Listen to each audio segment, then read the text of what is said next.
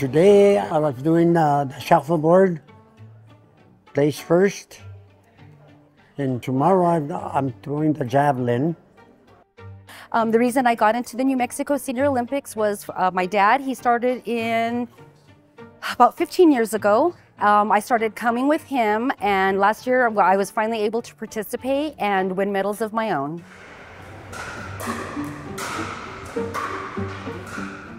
I like it. This is our third year. Wow.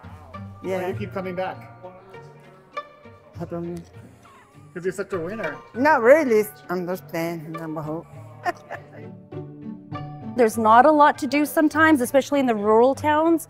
Um, so having some place that you can go with other people who want to do the same things you want to, it keeps you active. I've seen the big difference in my dad, how he um, he just keeps going and looks forward to this, and it keeps him active. I love it. It's super nice. I met a lot of people. I played a bunch of people and had fun with them and everything. It's just super.